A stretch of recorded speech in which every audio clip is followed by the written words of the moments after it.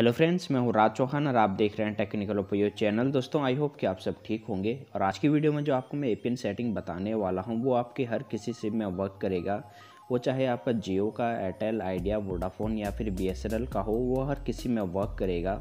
तो ये APN setting कौन सा है, ये जानने के लिए आपको इस वीडियो को लास्ट तक देखना होगा। और दोस्तों, मैं आपको बता दूँ कि जो मैं आपको इंस्ट्रक्शन दूँगा, आपको उसे फॉलो करना है।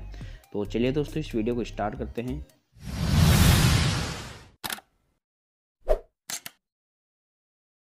दोस्तों ई पिन सेटिंग को इंस्टॉल करने से पहले आपको उसे क्रिएट करना होगा। तो सबसे पहले आपको क्या करना है कि अपने मोबाइल में जो सेटिंग है, उसे ओपन करना है। और जब आप सेटिंग को ओपन करेंगे तो उसके बाद आपको मोबाइल नेटवर्क का एक ऑप्शन मिलेगा, या फिर आपको सेलुलर डेटा या फिर आपको जो है, कोई जो है कुछ इस टाइप का ही आपको डाटा नेटवर्क से आपको एक ऑप्शन मिलेगा। तो आपको उस पर क्लिक करना है। और इसके बाद आपको जो है, यहाँ पर एक ऑप्शन मिलेगा एक्सेस पॉइंट नेम से तो आपको या फिर एपीएन के नेम से एपीएन सेटिंग के नाम से भी हो सकता है। तो आपको उस पर क्लिक करना है। तो जैसे आप उस पर क्लिक करेंगे दोस्तों तो आपके मोबाइल में या तो ऊपर कहीं प्लस का आइकॉन बन गया आएगा, या फिर आपको न्यू एपीएन से भी आपको कहीं फोल्डर दिख सकता है, या फिर आपको कहीं प्लस का आइकॉन भी दिख सकता है तो आपको उस पर क्लिक करना है। तो जैसे दोस्तों आप उस पर क्लिक करेंगे तो आपका जो है कुछ इस टाइप का फोल्डर ओपन होगा। लेकिन दोस्तों, जो एपीएन सेटिंग मैं आपको बताने वाला हूँ, मैं पहले से ही क्रिएट कर चुका हूँ क्योंकि उसे मेरे को पहले जो है उसे, उसको जो है टेस्ट करना था कि कितनी स्पीड दे रहा है, क्योंकि उसी के बाद मैं आपको इसे प्रोवाइड करता।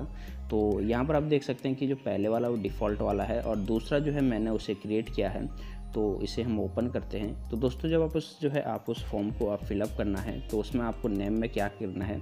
आपको नेम में लिखना होता है दोस्तों आपको अल्फ़ा उसके बाद लिखना है आपको एक्स प्रो प्लस और उसके बाद लिखना है टू पॉइंट थ्री और उसे ओके कर देना है। और उसके बाद आते हैं एपीएन में।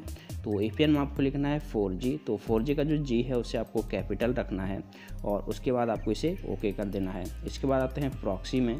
तो प्रॉक्सी में आपको लिखना है टेन उसके बाद आपको जो है यहाँ पर डॉट लगाना है four dot four two dot one five और इसे ओके कर देना है। पोर्ट में आपको लिखना है एट ज़ीरो एट ज़ीरो और इसे ओके कर दें। और इसके बाद दोस्तों यूज़र में आते हैं, यूज़र नेम में आते हैं तो यहाँ पर आपको लिखना है फोर जी एक्स प्रो तो आपको इसे ओके कर देना है। और इसके बाद आते हैं सर्वर में तो सर्वर में आपको लिखना है W W W dot Google dot com, और इसे ओके कर देना है। और इसके बाद दोस्तों एम एम एस सी और ये एम एम एस प्रॉक्सी वगैरह सबको इन्हें जो है आपको नोट सेट रहने देना है। और ये M C C M N C ये जो आपके एरिएट के हिसाब से जो है आपके सेट रहते हैं तो आपको इन्हें कोई भी छेड़खानी नहीं करनी है। अब आते हैं ऑथेंटिकेशन टाइप में। तो आपको सबसे नीचे एक ऑप्शन मिलेगा आपको पी ए पी और सी एच ए पी को तो आपको इसे जो है सिलेक्ट कर लेना है। और ए पी एन टाइप में आते हैं तो आपको इसे डिफ़ॉल्ट ही रहने देना है। और इसके बाद दोस्तों, जब हम इसे जो है नीचे आते हैं तो आपको यहाँ पर मिलेगा ए पी एन प्रोटोकॉल तो यहाँ पर आपका जो है A P V I P V four या फिर आई पी वी सिक्स हो सकता है। तो आपको इसको जो सबसे जो लास्ट वाला है आई पी वी फोर और आई पी वी सिक्स तो आपको इसे ही सिलेक्ट करना है। और ए पिन रोमिंग प्रोटोकॉल में भी आपको सेम करना है। और इसके बाद दोस्तों सबसे जो मोस्ट सेटिंग है, वो है आपकी बियरर तो बियरर में दोस्तों मैं आपको बता देता हूँ, आपको यहाँ पर जो है LTE जितने भी ऑप्शन हैं, इनको आपको सिलेक्ट करना है सभी को। और जो ये लास्ट से जो ऊपर जो दूसरा है, आपको जो ये वाला, इसे आपको छोड़ देना है, यानी कि इसे टिक नहीं करना है। और इसके बाद दोस्तों, अगर आपके मोबाइल में इतने ऑप्शन नहीं आते हैं तो हर किसी के मोबाइल में एल का ऑप्शन आता है तो आपको एल टी सेलेक्ट कर लेना है। तो जैसे आप इसे सिलेक्ट करेंगे, उसके बाद आपको ऊपर से डन कर देना है। जिसके बाद कि आपका जो ए पिन है, पूरी तरीके से क्रिएट हो चुका है।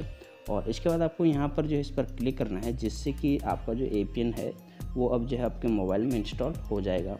तो मैं आपको अब यहाँ पर स्पीड टेस्ट करके दिखा देता हूँ कि आपको कितनी यहाँ पर जो है नेटवर्क स्पीड मिलने वाली है। तो यहाँ पर हम ओकला एप्लीकेशन का यूज़ करेंगे यहाँ पर स्पीड टेस्ट करने के लिए।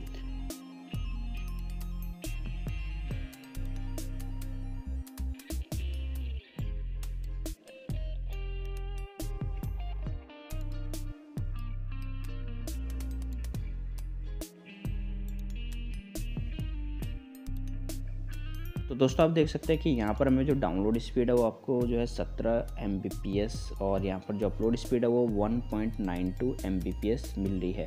तो दोस्तों यहाँ पर हम इस पर जो है अगर आप ट्रस्ट नहीं करते हैं तो मैं आपको एक बार डाउनलोड करके दिखा देता हूँ कि यहाँ पर आपको डाउनलोडिंग स्पीड किस हिसाब से मिलने वाली है। तो दोस्तों यहाँ पर आप जो है मैं आपको एक बार एक मूवी को डाउनलोड करके दिखा देता हूँ, यानी कि यहाँ पर जो स्पीड है वो आपको काफ़ी अच्छी जो है आपको देखने को मिलेगी। तो आप यहाँ पर देख सकते हैं कि यहाँ पर टू थ्री फोर और इसके बाद फाइव इसके बाद सिक्स और इसके बाद जो है दोस्तों सेवन एट भी जो है आपको स्पीड मिल जाएगी। यहाँ तक कि आपको टेन एम तक मिल जाएगी। तो दोस्तों आज की वीडियो में इतना ही। अगर आपको ये वीडियो पसंद आया तो इसे लाइक कीजिए शेयर कीजिए और अगर आपके मन में कोई क्वेश्चन है तो आप कमेंट कर सकते हैं। और अगर आपने अभी तक इस चैनल को सब्सक्राइब नहीं किया है तो इस चैनल को सब्सक्राइब कर लीजिए, जो बेल आइकन से प्रेस कर दिए तो मैं आपको मिलता हूँ अगली वीडियो में। तब तक के लिए आप अपना ख्याल रखिए।